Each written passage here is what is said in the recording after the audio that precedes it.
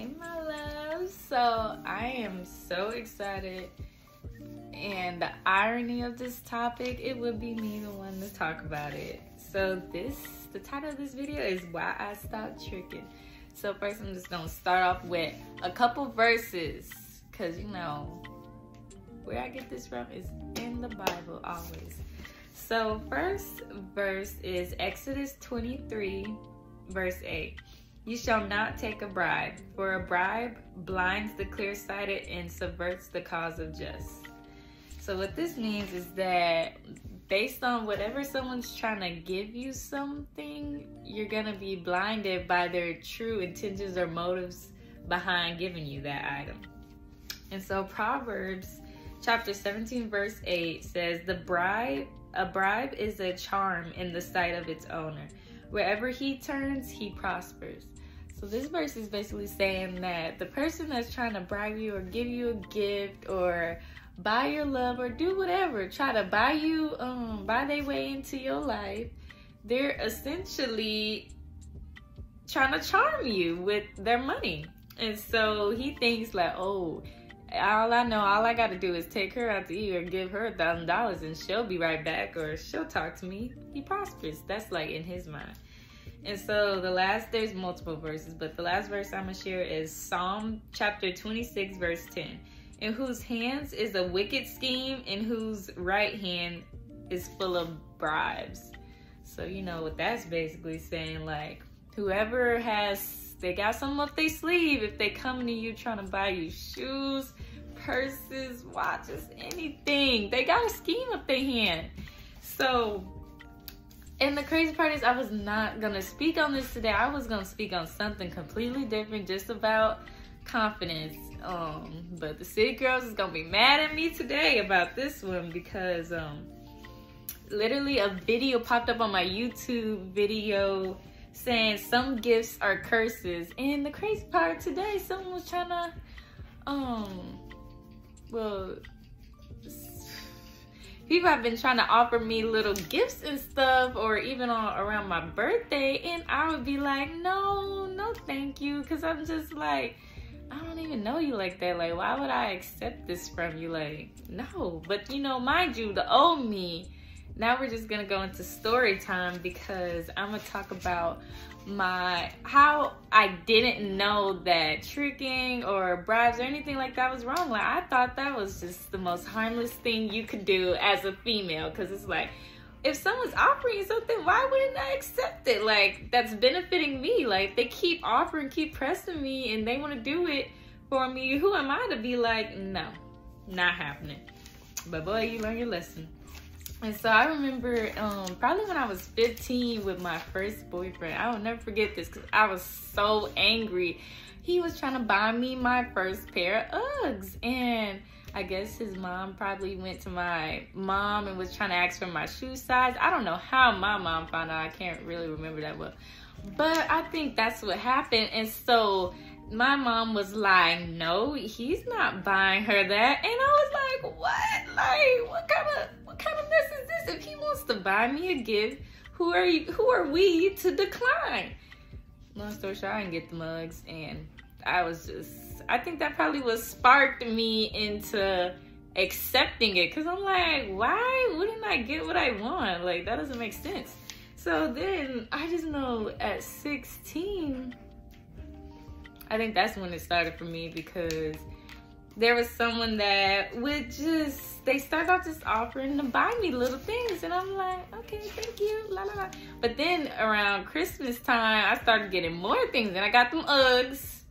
And then, you know, just acquiring things without, you know, having to do anything. So mind you, for me, it was all about, oh, all I have to do is what have a conversation with someone and they'll just buy me what I want. So that's why I seen mine as harmless. I'm not gonna go, I'll do the extra, you ain't getting this body. None of that. It was none of that with my um when I say tricking. It, it, it didn't get that far, it didn't get that good. The most was just like um hanging out to get some free weed or to smoke. Literally like everything is um was transactional. So what I have to say about this is that um back to what I was saying with some gifts are curses. So just as you close and lock the doors in your home, you need to do the same spiritually. Like with people, you can't accept every offer that comes your way. Um, personally, you gotta become self-aware to see anything even wrong with tricking or accepting bribes or whatever because that's something I feel like I didn't have a conscience about for years. Like I did not see anything wrong with it, and you know, to each its own at the end of the day. But I'm gonna follow what I learned about it as to why it's not gonna be good for my spiritual, you know, health or walk. And so, for me, number one reasons why I stopped is that you reap what you sow. I believe that um just because someone keeps offering me money, shoes, or takes me shopping or anything like that, it they still want some type of something in return, even if they are just a sugar boy. Like they still want your time or conversation. So that's still a transaction. So you know that your intentions are good with this person and their intentions, they probably really want you or would really like to be with you, but you know your intentions are like, I'm just using this person. So for me, that's number one, you reaping what you sow. And I didn't realize that. So I feel like if you're reaping using someone, taking advantage of someone, you're gonna get that back into your life in different areas. You don't know where it's gonna pop up. It's called um, karma, but it's also called reaping what you sow. So that's one reason I stopped because I'm like, oh, if I keep if I keep using someone, take advantage of someone, that's gonna come back on me. I don't need that kind of energy in my life. And so this is a hard one probably for everybody. Even with exes, you cannot keep the stuff they bought you or even people you just um situationships, someone you were trying to talk to. So for example, my last birthday, um this dude I was talking to had bought me, you know, a teddy bear and some flowers and a vase and all this extra. So, but we didn't work out because of we didn't work out. So that's um I was mad because I'm like, bro, I was I was trying to warn him like, hey, like I don't think you're ready to talk to someone new. You know how people just be fresh out of a relationship and it's just a mess. And so I'm just like, I kept trying to warn him. And so then on my birthday, literally was in their feelings about their ex. And I'm like, okay, this this is just not gonna work. You done lost your mind. Like, I'm on vacation and you in your feelings? the disrespect, you know? You worried about someone else. I'm worried about celebrating me. Who does that? So, girl, I got home. I must have threw away everything in the trash. And so I seen something online where it's like you can even burn it, and I'm like, luckily my anger for anyone hasn't been that deep, but I do throw away. Oh, I ain't keeping it. You buy me a weird gift too, like some shorts or anything that just like why are you buying me that? So you gotta throw people's stuff away, man, because some of these gifts are cursed. They're trying to they're trying to keep and linger they um I wouldn't even say always spirit, but just keep you tied to like think of them with that object. So you got to get rid of that stuff. I don't keep nothing. Nothing. And I used to too. I would keep all my. The crazy part with this year with spiritual, all my rings kept getting lost. My charm bracelets, people bought me everything. This is why I'm naked because everything, all my jewelry was bought from past relationships and stuff. And notice it's all gone. Like I don't know if God was yanking stuff off or what, but it, he was like, no, you got to get rid of that stuff. And so it's, as you can see, I ain't got none of my James Avery rings, but it's okay. And so, um, oh. Also, it kind of promotes that you can be bought like for a value like, hey, I know if I all I gotta do, like I said before, if I buy her this or that, she'll be right back in my arms. And it's like, if you truly value yourself, you wouldn't go, you ain't going for that. But if you and you're not in your right um, state of mind to think like, well, I want what I want. So if he's offering to pay for my nails, I'm gonna do it. Not knowing when you accept that, you're kind of allowing someone back into your life in some form of way. And sometimes you're just greedy. Like, I think for my reason for tricking was more so like, I don't want to spend my own money for some shoes I want. I don't want to spend my own money for my nails. I don't want to spend my own money to get my hair done. Like, why would I do that if I have someone else who's willing to pay for it? But you know, it's stuff that comes. It's always gonna be a price to pay in the end when you just being greedy. When you got the money, you and you still just like, no, I'm gonna use them. And so sometimes um, you're just using people to buy the stuff you want because um just to feel a deep emptiness because you're like well i know if so and so gets me this that'll make me feel better. Yeah for about a day. And then you're back feeling the same way um a couple days later.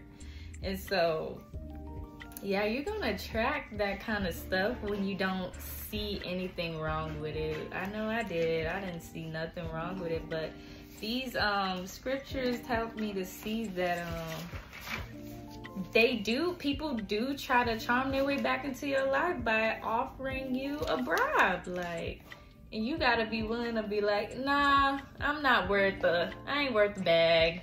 I'm worth more than that. Something money can't buy and so if you don't really see yourself like that then this um this topic is not for you until you're ready to notice that you are using people essentially, whether you want to admit that or not. So it's just all about becoming self aware and um, having a conscience because I know I did not feel bad about it. Even today, I don't know if I necessarily feel bad about it. I just now am aware that it's wrong. Like, I don't think I feel bad that I was doing it and that's not good at all. So it's just about learning what's right from wrong, regardless if you feel bad for it or not. So, and just trying to do better. Cause once you, like, even um this past year, I've been offered, I've been declined everybody trying to buy me stuff, do whatever. And this is not bragging at all. I'm just saying what you should do when someone comes your way trying to buy you stuff and you don't even know the man or you don't know this person I've been on one story, but now here's the situation too. Like even at hair school, this dude, he already bought the stuff, not asking me. Like just went out and bought me combs and stuff and food. Like what happens when they do that? I mean, you now today and age, I probably would decline it because I'm like, hey, I didn't ask you to do that. Like, what is all this? But back then, I accepted it because I'm I'm thinking it's harmless, not knowing that. Oh, he wants me. I'm like, dude I'm thinking you just buying me food and getting me some hair supplies out the kindness of your heart. And so that's why scripture says a bribe is a charm in the sight of um, its owner. You think he thought he was gonna prosper. He thought he was gonna get me. You wasn't getting me because you bought me something. So that's why you gotta be careful about allowing people to buy you gifts because it's a curse. And you will have to get rid of every gift when you are done with that person.